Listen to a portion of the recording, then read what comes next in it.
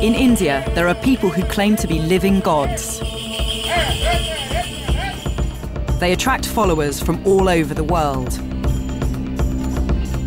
But there are allegations that some may be abusing their power. He kicked this woman three times very hard in the abdomen. Are the godmen who draw so many tourists to India in touch with something godly?